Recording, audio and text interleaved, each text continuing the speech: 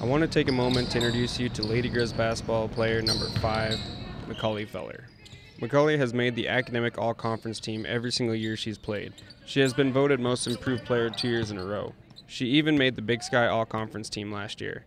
She first came to the University of Montana for track. She then decided to change it up and try out for the Lady Grizz basketball team. She walked on and earned a full ride scholarship. Your help recover. You can't even compare her to like a good person. Like she's so much more than that. Like she just she does everything for everyone. Yeah. I think that um, you can tell in the way she plays that she's been through a lot to get where she is and to um, she's grown a ton. Um, so yeah, that chip on her shoulder a little bit, but also just it gives her the experience and the humility that she shows like when she plays. Free throw line extended. Here we go. Enter Coach Robin Selvig, who's coached McCalle all the years that she has played here. In fact, Coach Robin Selvig has coached at the University of Montana since 1978.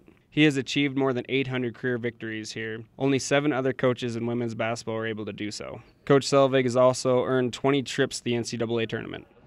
She's a little bit of a free-spirited player. Uh, she is a real good shooter, but one of the things to you know, uh, you don't know what you're going to get sometimes on McCalle. The good thing is, a lot of times with kids, and earlier in her career, it was a little more this way. You might go out and it might you might get turnovers. Uh, something's going to happen when she gets the ball. As she's matured, something's going to happen when when she gets the ball, but usually it's a really good thing now. Seldom see McCalle without a smile on her face, uh, and uh, it's a pretty good trait. But what if I told you she was adopted? Her birth mom was a college athlete, didn't know she was pregnant, went to the hospital for stomach pains, and a few hours later, McCalle was born. Her birth mom soon after gave her up for adoption. McCalle's family then adopted her, and she grew up in Lewistown, Montana.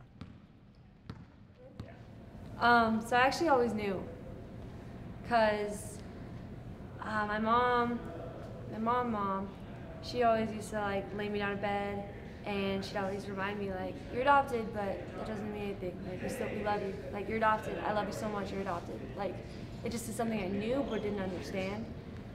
So, what would you do if you've never met your birth mom? Well, this is what McCalle did. This is like really, this is kind of deep, but I'm trying to get better at talking about it. So this is good. So I started making a video, and I just like went out and bought a camcorder, and I just started filming stuff. And uh, it took me about like eight months of my whole freshman year to make this video, and I sent it to her on June 1st. Um, yeah, it's like a 12 minute video, and it's just about who I was and like uh, just I don't know. It was really hard because like how, it's hard to talk about yourself, you know, and like show who you are. Like who would you ever tell? What would you tell somebody who's never met you that you just want them to know who you were in case they like need to know, you know?